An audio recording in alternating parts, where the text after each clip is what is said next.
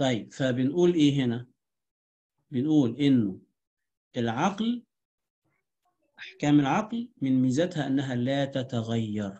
يعني الجزء أصغر من الكل في الماضي في الحاضر في المستقبل في الجنة في النار الجزء أصغر من الكل. ده حكم عقلي واحد زائد واحد يساوي اتنين. في الماضي في الحاضر في المستقبل في الجنة في النار واحد زائد واحد يساوي اتنين. ده حكم عقلي واضح؟ لكن الأحكام العادية تتخلف أو يتصور تخلفها على الأقل. الأسبرين مسكن للصداع. ده حكم عادي مش حكم عقلي. لأنه يتصور إنه ما يكونش مسكن ولا حاجة. فيل يمشي على قدمين. حكم عادي.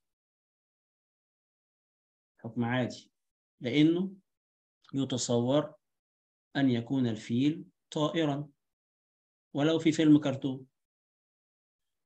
لكن لا يتصور أبدا أن يكون الجزء أكبر من الكل. لا يتصور هذا أبدا. ولا حتى تعرف تعملها فيلم كرتون ولا تعرف ترسمها. آه فإذا لما بنقول العقل يعني حكم العقل يعني مقتضى العقل. وحكم العقل لا يتخلف. لذلك لذلك من المهم جدا إن إحنا نعلم الناس يا سيد حاتم. من المهم إن إحنا نعلم الناس الفرق بين الحكم العقلي والحكم العادي. ليه؟ لأن الجماعة العلمانيين والليبراليين وغيرهم من المتنورين يقول لك الكلام ده لا يدخل العقل. كيف يقول النبي هذا؟ كيف يقول النبي هذا؟ هذا كلام مخالف للعقل.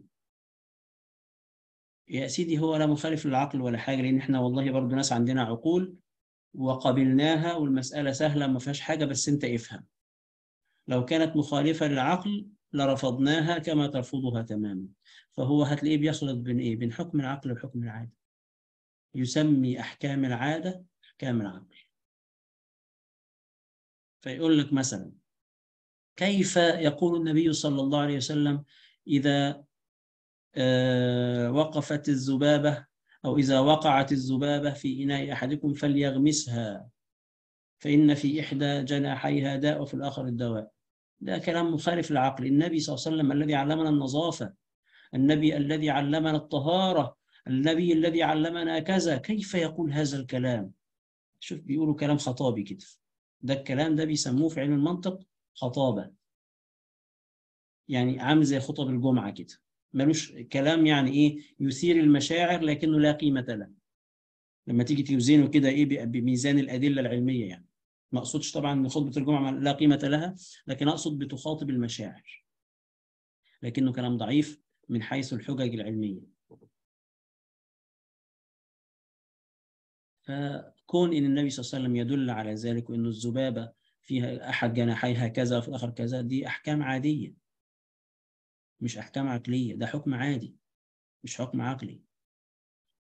كون إنه النبي صلى الله عليه وسلم يقول ذلك هذا ليس مستحيلا عقلا. كون إنه ربنا يخلق في أحد جناحيها كذا وفي الآخر كذا ده, ده ممكن عقلا. مش مستحيل. فهتلاقي غالب اعتراضاتهم على الشريعة الثعبان الأقرع وعذاب القبر. ويقول لك يعني هل ربنا بعظمته سبحانه وتعالى يعني قاعد فاضي إن والله الواحد يخش الحمام برجله اليمين ولا رجله الشمال؟ مش معقول يا جماعة ربنا أعظم من كده. وربنا كده كده ويقعد يعملوا حاجات كده. يعني هل ربنا بعظمته سبحانه وتعالى مهتم أنا حطيت حتة إشارب على رأسي ولا لأ؟ ربنا أعظم من كده. وكله باسم العقل. إهانة للعقل باسم العقل. وكل الكلام ده ملوش أي علاقة بالعقل. كلها أحكام عادية. يعني مأخوذة من التجربة والمشاهدة. مش إحنا قلنا مصادر المعرفة ثلاثة يا حاتم؟ العقل والحس والخبر. العقل بيديني أحكام عقلية. الحس والمشاهدة بيديني أحكام عادية. الخبر بيديني أحكام شرعية. احفظها دي. واضح كده يا حاتم؟ تمام واضح. إن شاء الله لمفهوم العقل اللي هي قواعد المنطق عند المناطقة العقل لا العقل هو العلم بإيجاب الواجبات واستحالة المستحيلات وإمكان الممكنات. ده دي ده ده حكم العقل. يبقى أي حاجة هتجي لي في الدنيا هقول هي من الواجبات العقلية ولا من المستحيلات العقلية ولا من الممكنات العقلية. كده إيه في خانة من الثلاث خانات دول. هذا هو العقل وهذا هو الفارق بين العاقل والمجنون. يعني الجماعة اللي إحنا حاطينهم في العباسية وبنحافظ عليهم هناك دولت إيه الفرق بينهم وبيننا؟ إن إحنا في عقولنا جميعا التفرقة بين الواجب والممكن والمستحيل.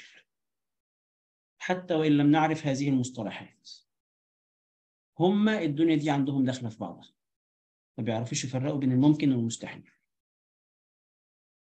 فهذا هو العقل. العقل هو معرفة إيجاب الواجبات واستحالة المستحيلات وإمكان الممكنات. هو ده العقل.